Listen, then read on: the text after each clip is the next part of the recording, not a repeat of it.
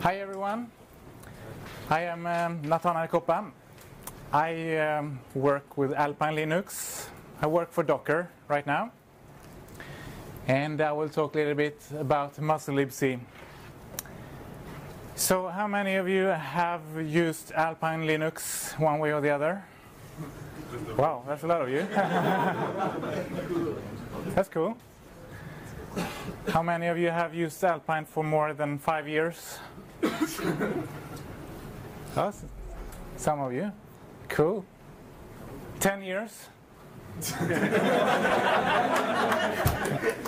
good. Very good. Okay.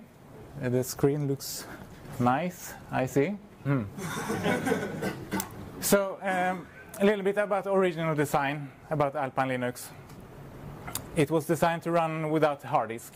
That was the basic idea. So we uh, boot up, install the system in uh, RAM memory, and you could take out the boot media if you wanted. That means that you want the system to be very small. You don't want a bloated system. That, that was the original idea. So use cases was like firewalls, VPNs, and that. But nowadays it's uh, very popular for containers. Docker for the win. How many of you use Docker? Good, good. I, I, think it, it makes very uh, much sense to run Alpine with in containers because of, you know, when you run from RAM, you install it, boots up, and you destroy it when you power it down. That's pretty similar what you do in a container. Disposable uh, systems, right? Let's move on.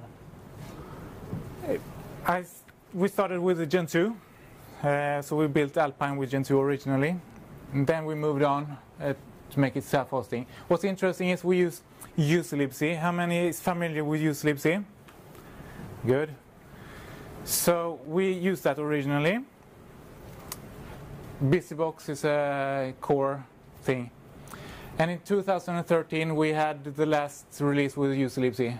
At that time we had uh, almost 3,000 ports, 2,800. I just move on. There were some problems with uClibc. Uh, they required some patches to get it upstream, patches upstream we had at that time, I think, 39 patches, and we couldn't get them upstream. One important thing was the threading issue, uClibc. VLC crashed, or actually it hanged every time we exited due to threading uh, implementation. It was not really fixable. So we thought we need to move on. Also, the code base is really ugly, sorry to say that. but it, it's because it comes from Asian system uh, glibc. So it was not really nice to work with. So we saw this musl libc thing. And on the website it says it's new, that's cool, it's lightweight, it's simple, and it's correct when it comes to, to security. So it matches pretty well with the goals with Alpine. There's an active development, clean, nice code base, stable ABI. uClibc doesn't have that. They also provide some uh, sort of ABI compatibility with uh, GNU-libc. Actually, the Adobe Flash player works uh, in uh, with musl-libc in, uh, in Alpine Linux, so, so it kind of works. So that was some of the nice things with musl-libc. So of course there were some worries because uh, not many distros has done this before, build a complete distro with musl. So um, how much would break was a big question. We, um, how much work was it to, to patch things? Would upstream accept patches? Important questions. It's not as mature as GNU-libc, so how many hidden bugs are there that we didn't know about? We were, were worried about that, but switching to glibc was not really an option. So we um, so we decided to just jump. And how did it go? Surprisingly well. Uh, it's like uh, I think it's about four percent that was uh, specific musl based. We have more patches, but not many patches actually to make it work. Most of it just works. I just move on because of time. So some of the nice things with musl libc, experiences we had with uh, musl libc is that uh, the code is very nice. We did some changes in musl libc, submitted patches upstream. Very nice work with. Nice community. Um, they try to be correct. Sometimes that can be a bit annoying because you just want to move on. You have a real world application that breaks and you ask them and say, hey, why don't we just, you know, and I say, no, we don't.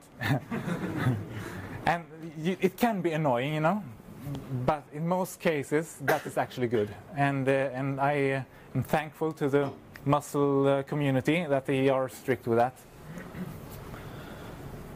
And an interesting thing I noticed when we patch software to make it work with musl libc, almost always the code gets better. And, and I will show some experiences with that. and upstream, always, always, almost always uh, will accept patches to support because it's uh, we send a patch, this breaks uh, POSIX, and they will just accept it. There are a few exceptions. They, yeah. that's, that's, that's true. systemd is one of them. so, if you want to do, go this road, what do you need to watch out for? If you have an application that you want to build with musl libc, what, what are the things you need to watch out for? There is no define, musl define. You cannot say, you cannot test in, in your C code, this runs on a musl system. You cannot do that. Uh, the default stack size is 80k. Uh, there are some extensions in print format strings. There is no lazy binding. And there is one very nasty thing there. If you want to print error messages and the DNS resolver. I will take them one by one. so there is no musl define. This is a patch from Mesa that got upstream and they test, oh, if you run, they did that before. If you run an Apple system or if you run FreeBSD, NetBSD, OpenBSD, if you run Android, blah, blah, blah, then you do that like this. Imagine if there actually was a musl define. What do you think would happen with the code here? so, because of they don't have that define, they just say, okay, you know what? If you are not an exception, just assume you're following the standard. And then you can just remove all this garbage and the code gets better. That, that's a proper way to do it. Another problem is the, the, stack size 80k. Windows, I think, have one megabyte. OpenBSD is uh, 256k, maybe. FreeBSD 512, depending a bit on the architecture. glibc default stack size for threads is 8 megabyte. so if, if you spawn 10 threads in glibc system, it will just use 80 megabyte doing nothing. This one is actually the smallest one I know, uh, default stack size. We had an interesting patch in Firefox if you see at the out buffer, k out size, how big is that buffer that ends up in the stack? 128k. What do you think happen if you try to allocate 128k when you only have 80k? Goes boom. so, so Firefox started to crash, and this, this was the issue. When I when I searched the um, Bugzilla for Firefox, I actually found another bug on Windows, which has one megabyte stack size, they crashed for the same reason. So, so generally, you, you don't do that. You don't allocate 128k on the stack. That's, that's uh, just don't do it, you know? That's kind of, kind of stupid thing to do. So they accepted the patch. I think this went upstream. Uh, you don't see it, but they will allocate it on, on uh, the heap instead.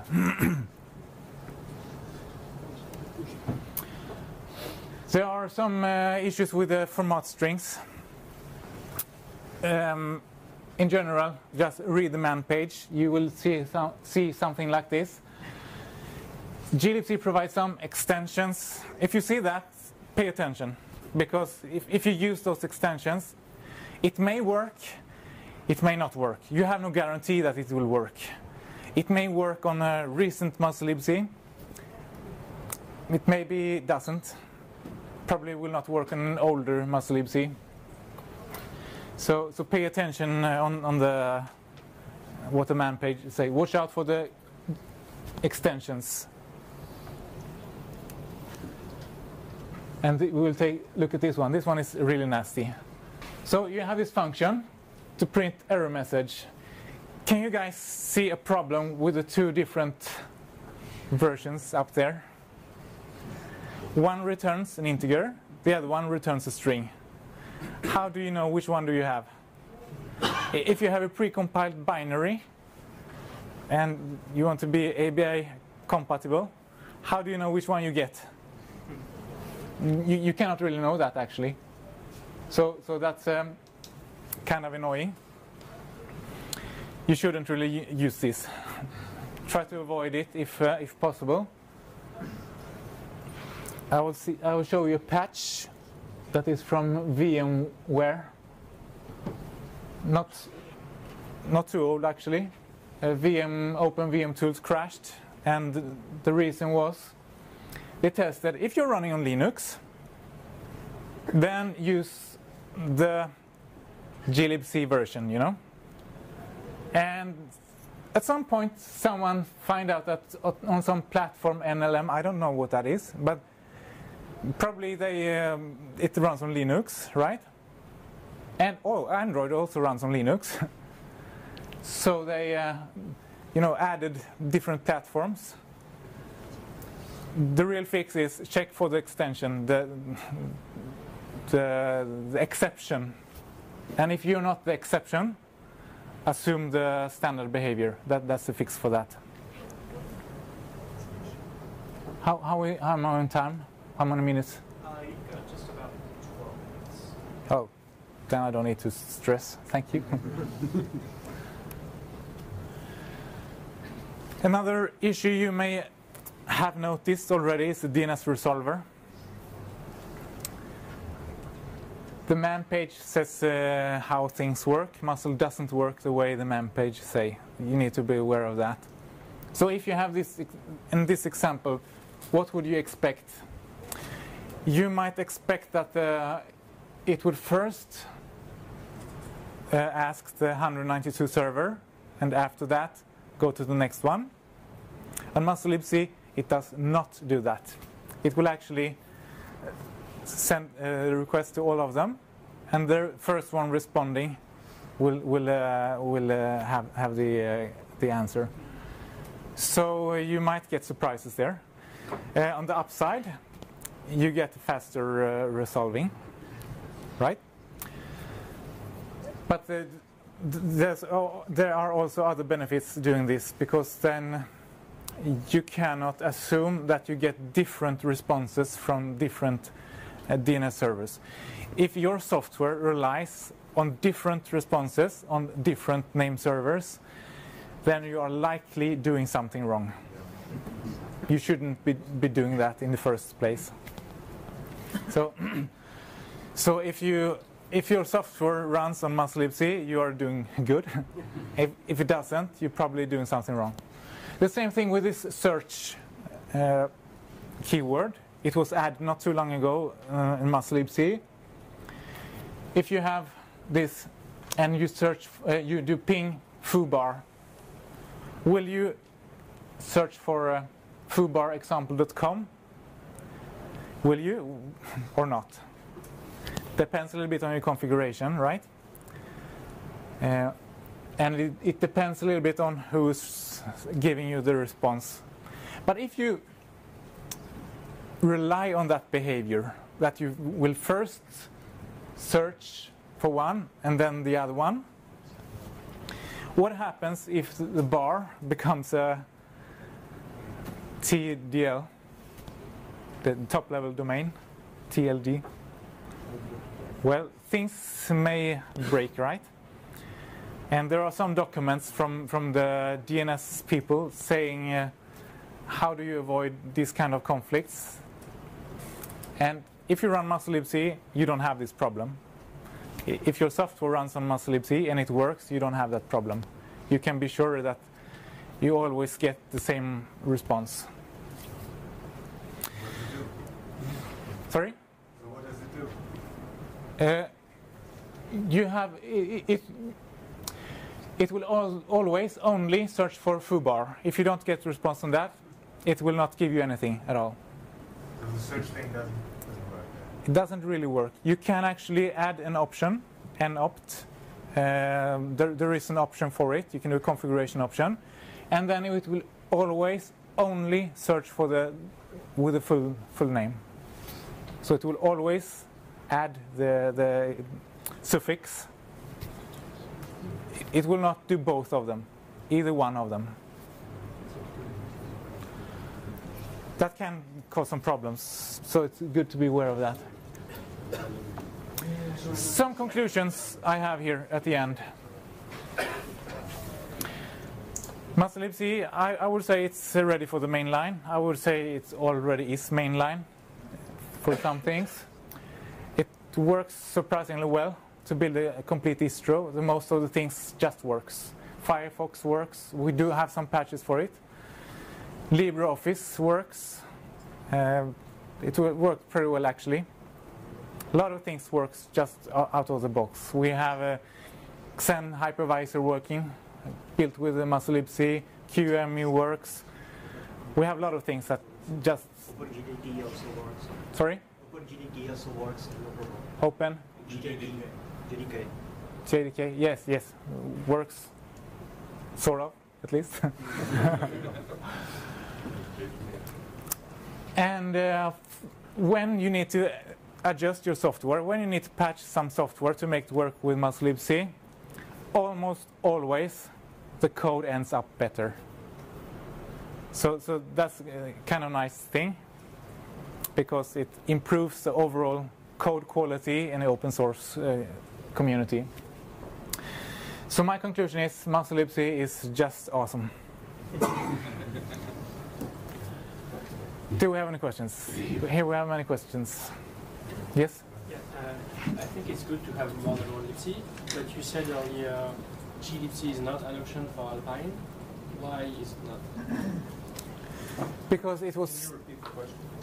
why um, why is glibc was glibc not an option for uh, Alpine Linux? Back at that time, we were running from RAM. It was too big. Okay. It was just just too big. That that's um, we didn't want that big.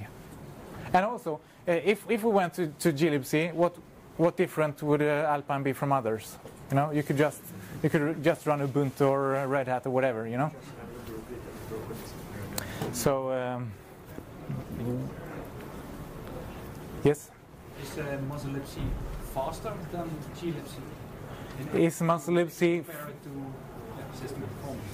Because you say there's some threading issues with glibc and microlibc and yes many differences and legacy. Yes, that's, that's a good question. Uh, is musl libc faster than glibc? Depends on your workload. Some things is faster, some things I expect is not. but I don't know really uh, overall. Can you give an example of a workload on which it is fast? I don't know. I really, I, I haven't done much. Does anybody know workload where musl libc is faster? Lots of dynamic linking. Lots of dynamic linking. Yeah, that's. Uh, I believe that. There's a benchmark page, uh, I think on the musl website, where they uh, list a few functions and benchmark it with different libcs. I think there was also some sorting Right. algorithms for musl Ye- faster. Yes, I don't know how, how up to date that is. I think it's pretty old, actually. But but there are some. Uh, The main things that are known to be slower are the lack of highly optimized mem copy. sorry. The main things known to be slow are a lack of highly optimized mem copy, which may Okay. make a difference in some work. Okay. Yeah. If you, if Op- you really care, use your own. Yes. Optimized mem copy can be the the situation where it's slower. Yes. In your example here, you got rid of the reentrant version of strerror and just went with the non-reentrant one. Yes. That doesn't necessarily seem safe in some cases. Uh, actually, it, it is reentrant. the even even the This one, you mean? The one yeah Yes, it is. But the the the problem is that there are two different that they are reentrant. Right. They are exactly the same thing, right but they just return different things. So you may end up with one one with a POSIX version, or you may uh, end up with a glibc version. right And in in the patch, it's reentrant. oh I see So so so it's uh, it, it should be safe. Yeah thank you Any more questions? Why did you forget the idea to only run in RAM? Ah, that's a good question. uh, because why why we only run in RAM? Or why, why don't you why you don't run anymore only in RAM? Uh, uh, why we don't? did you stop running only in RAM? Actually, we support that. We still we still support that. So so the live CD will run from RAM. You can, in theory, boot up the live CD, take out the CD, and, and it will continue run. So it runs uh, it runs uh, still uh, from from memory. But we support disks now as well, so you can install it on disk as well. Like you said, the user community is usually pretty good. And the question is, I think, in your experience, how long does it take you to get in a non-trivial patch? Like how much bike shedding is actually going on? Because, you know, some libcs have problems with that. So how much bike shedding, uh, how much trouble is it to get in a patch in musl libc? In my experience, well, the times where I needed patching patch we had a specific problem. Then I have asked them, what do you guys think about that on IRC? And normally it's they who come up with a solution. And then I make the patch. That, that's the way they do it. So, so, so, so, so that that has been that has been uh, not not a big issue. The times where it can be issue is if you want to hack something, do something ugly, then they will say no, we don't want to do that. If you have a good reason for it, they might accept it. But um, normally, um, it's not a big problem, uh, in my experience, to get patches in there. Do we have more time? Yes, back in the back. Uh, you mentioned OpenJDK runs Soda with um. Uh, can, you, can you explain why you use Soda? Uh, I, I don't have much experience with uh, OpenJDK, so, so I don't know really. I have heard that you need uh, the dynamic linking, um, sorry, the lazy loading with, with that, which does not work, is not supported with musl libc. It's not supported at all at this point. So you might get problems with it if, if, you, if you depend on that but at least Hello World works. Um, so the, the applications I have come, come into works. It may work, it may not. I don't know really. Are there better options for running Java with uh, Moodle? The problem with Java is that they, uh, Oracle provides uh, precompiled binaries against glibc. So i they only support that. If you do try to do something else, it might work, it might not. You can probably pay Oracle to support musl libc, but you have to pay them. We had actually an issue with that. Someone asked for it, and uh, the response was, you have to pay uh, Oracle guys to do it. I run multiple applications on uh, uh, OpenJDK and Alpine and uh, doesn't have any problem so far. Uh, actually, I didn't know that there's some problem. Uh, and uh, there are uh, also big complex applications like Alfresco and uh, it seems that it uh, runs fine. Um, So I think that it's not a big issue. Big issue are people who just insist on running Oracle uh, JDK on Alpine.